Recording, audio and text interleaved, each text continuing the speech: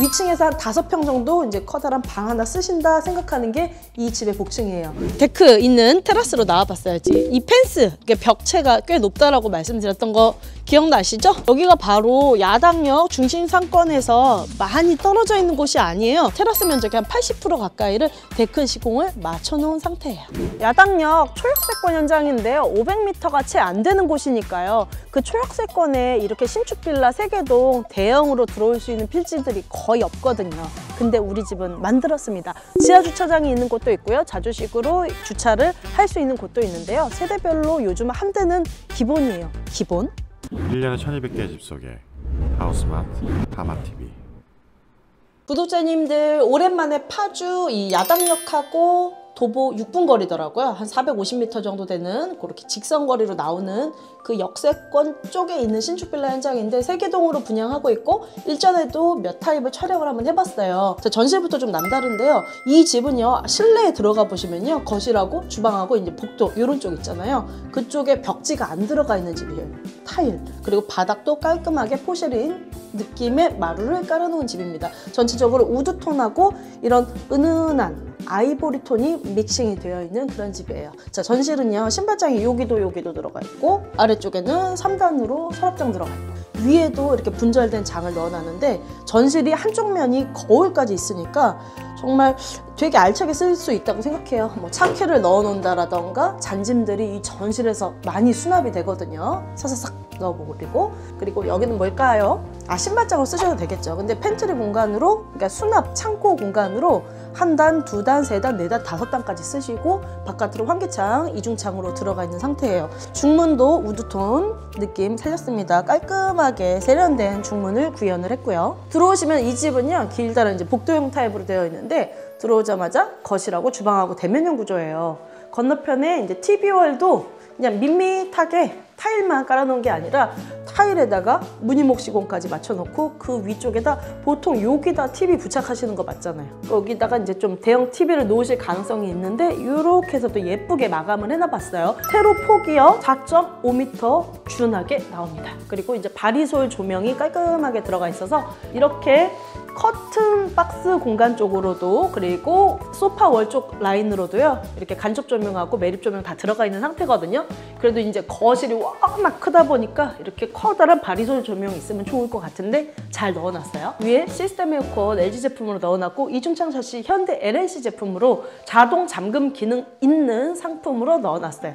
건너편 넘어갈게요. 바닥이 porcelain 타일 아닙니다. porcelain 타일을 연상시키는 wood 마루를 사용을 했어요 주방이 좀 안쪽으로 들어와 있는데요. 밥솥하고 광파 오븐 놓는 공간 있죠. 위에 수납 공간도 push 버튼으로 깊숙하고 넓고 아래쪽도 마찬가지고요. 그러니까 wood tone하고 아이보리톤 또 잘 섞어서 썼어요.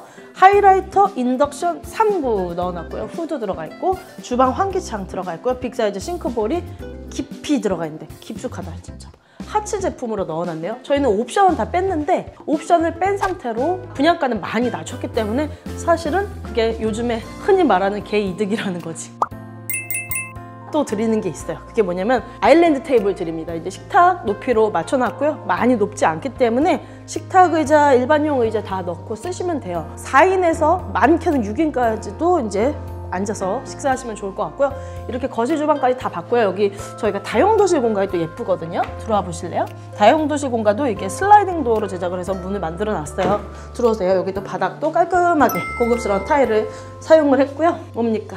여기 수전이 두 개 있는데 여기는 워시타워 설치하실 수 있는 충분한 공간이 나와요. 꼭 통돌이 세탁기를 써야 된다? 여기 하나 놓고 건조기 하나 놓고 할 수 있을 정도로 공간이 여유가 있다는 거죠. 자 이제 실내로 다시 들어가 볼게요. 어, 이 집의 절반도 못 봤는데 시간이 많이 갔네. 그러니까 욕실 들어갔는데요. 여기 건축주분이 이런 wood 계열을 너무 좋아하시나 봐요. 사람들이 이 wood하고 이렇게 아이보리 톤하고 porcelain 느낌 되게 좋아하는 것 같아요. 편안하고 내 집 같은 그냥 가정집 느낌이 나는 거죠. 여기 조명 거울도 하나 넣어놨고요. 기분 맞춰서 색깔 바꿔서 하시면 되겠고요. 여기 수납 공간도 좋지 않아요? 이렇게 세분화돼서 그리고 여기 선반도 있고요. 바닥 청소할 수 있는 장치까지 있으니까 해바라기 수전까지 있고 다 있네요. 그리고 깨알같이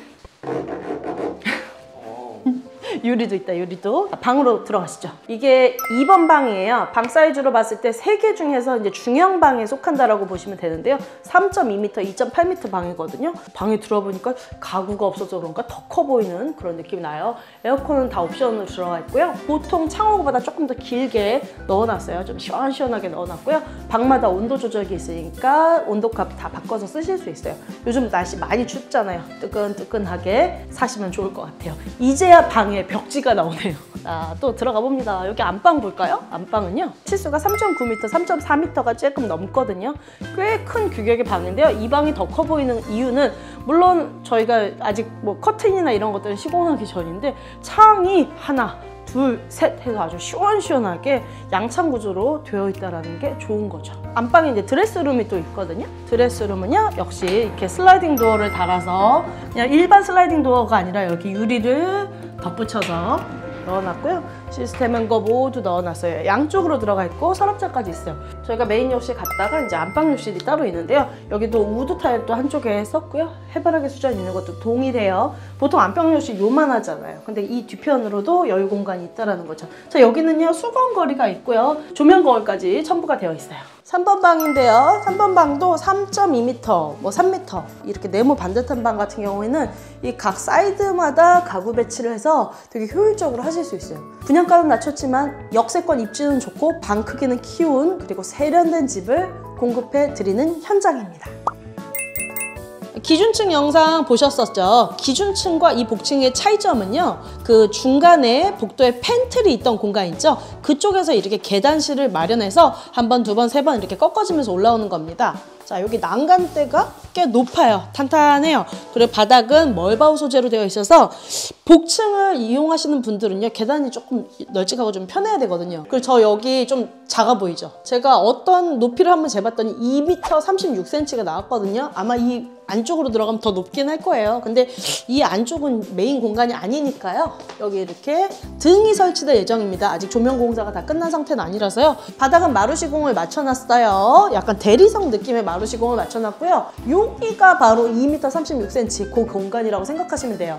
아래층에서 38평 3룸 그대로 살리시고요. 위층으로 올라오면 저희가 사실 바닥 공사가 아직 다 끝난 상태는 아니거든요. 벽에다 모두 장을 넣어놨어요. 수납장을요. 문을 양쪽으로 열 고서 이렇게 양 단으로 두 단으로 설계를 해놨거든요 한 단 한 단. 그래서 여기 이사 오셔가지고 따로 뭐 창고 같은 거 이렇게 제작 안 하셔도 될 정도로 짐 수납 많이 하시면 되는 그런 공간이고요.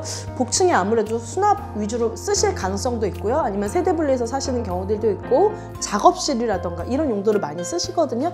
괜찮죠. 그리고 위층에서 한 다섯 평 정도 이제 커다란 방 하나 쓰신다 생각하는 게 이 집의 복층이에요. 외부에 테라스가 좀 많이 크고요. 벽이 높다. 이런 것들이 좀 장점이 거든요. 나가보실게요. 데크 있는 테라스로 나와봤어요. 이 펜스, 벽체가 꽤 높다라고 말씀드렸던 거 기억나시죠?